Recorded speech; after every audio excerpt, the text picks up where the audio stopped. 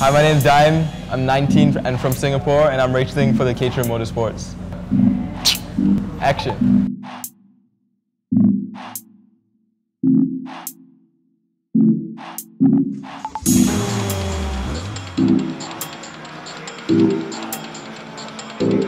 I got into racing ever since I was seven. I used to love cars from the young age.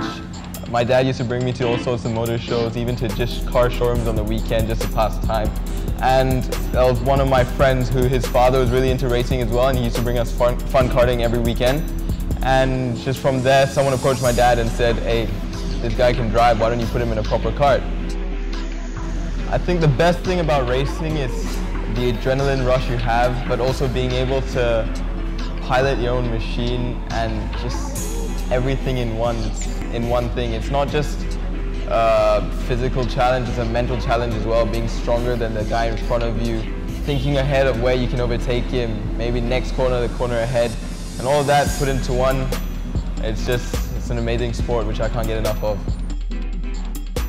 My dreams as a racer, I would say, is very similar to many other young aspiring racers. I Right now I'm racing at anything and everything I can get my hands on, but my end goal is to race for Singapore in Formula One and hopefully win win a race or a championship and do whatever I can. Just main goal is just to get to Formula One.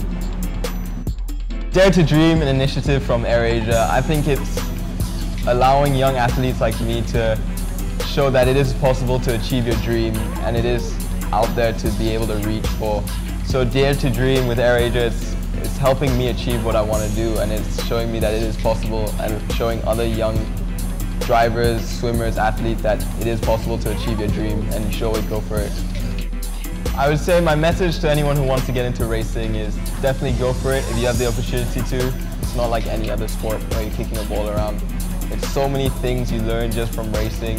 You learn teamwork, you learn how to set up a car, you learn physics, everything is all in one and I don't think there are many other sports where you can learn so much. And I would just say for anyone who wants to become a racer and wants to become a champion, just go for it and just dare to dream.